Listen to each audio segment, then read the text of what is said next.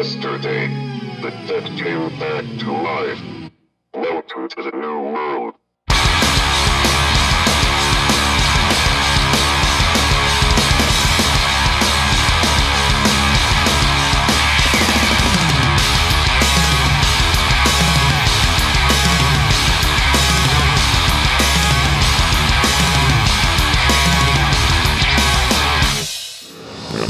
It's on. for the planet hell, planet hell, and hell.